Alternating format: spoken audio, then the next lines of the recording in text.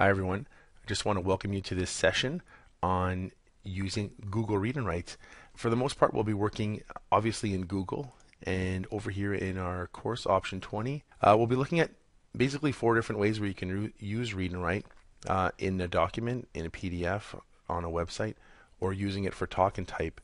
So I'm going to try and divide this up into four or five different segments. This will be the introduction that you're looking at right now.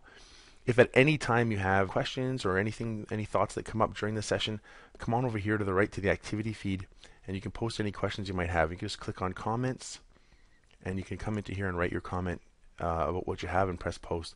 I'll be moderating it to kind of keep track of things as we're going through.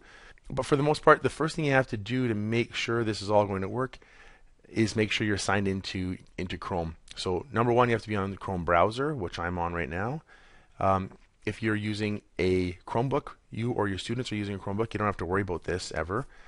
If you're using another kind of computer, you have to make sure that you're signed in. So over here in the top right corner, you might see three little dots or you might see this little exclamation mark.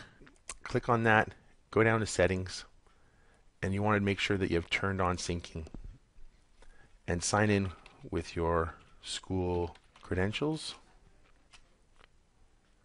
Or you're going to click on link data.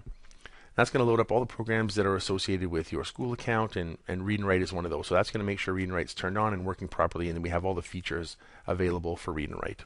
Turn that on, head back over here to option 20, and we'll get started.